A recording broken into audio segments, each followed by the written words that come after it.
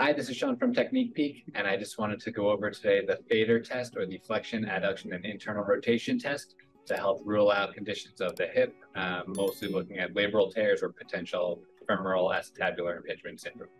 So to perform the test, you have the patient lying down on their back.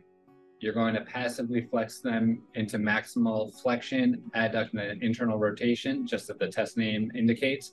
And you're looking for reproduction of pain, um, of the patient's symptoms of their trademark pain, uh, usually in the anterior hip, was known as the C sign. If you make a C with your hand and put them up to the front of your hip, that's the most common location of pain for intra-articular hip pain.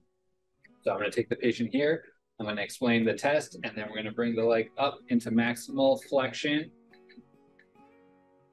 adduction, and then internal rotation. It's a closed pack position, so you're not going to get a ton of motion there.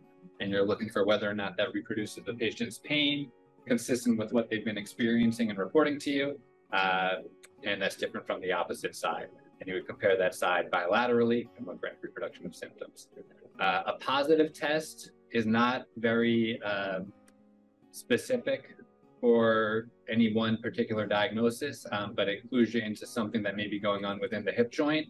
Uh, if you can do this test without any symptoms, uh, it is a highly sensitive test and can help you kind of clear the hip joint from any pathology and you may be looking towards the back or toward another structure.